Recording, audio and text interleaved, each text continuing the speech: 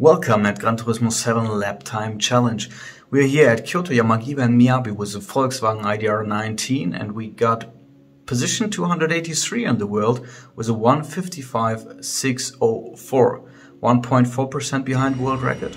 Let's go. In front of us, a ghost of the world record with a bit of offset so that we have a clear view, but also pushed, braking a few meters before the curb start on the left, not too hard, we never go to 100% brake, and at this point we're already at full throttle.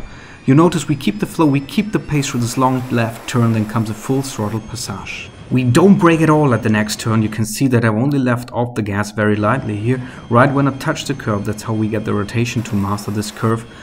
Here you orient at the first white line, there you go full on the brake. The next turn you have to take as tight as possible, touch the curb, shake with the brake, vibrate with the brake, same with the gas, this way you get the rotation nicely pull out very wide so that you can turn into the next curve with some momentum. You have seen I brake at about the level of the curbs and at this point I'm on the gas. But only give full throttle when you're straight.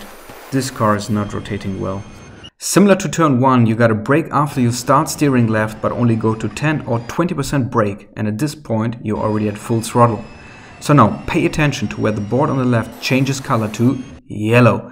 That's your braking point. You go full on the iron, 100% on it, try to hit the curb on the inside and stay tight, stay tight, stay tight. Go to 80% throttle and then to full, because as I said, the car doesn't rotate well. At the yellow mark, it's your next braking point. You go full on the pedal. You have to touch the inside of the curb. You have to shake with the brakes, shake with the gas, get the car as straight as possible and then go full throttle early. The next corner is difficult, you brake at this curb, keep the car as straight as possible during braking so that you do not get into a skid. And then you have to go to full throttle again right after the curb. I did it a bit too late and lost some time, stupid that this curve comes to the end, you can really ruin your lap.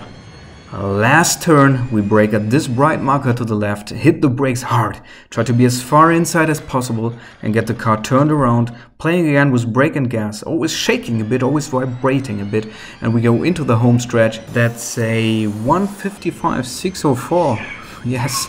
Whew. As you can see, I'm really happy about this time. Struggled a bit for it, happy and satisfied with 1.4% to the world record.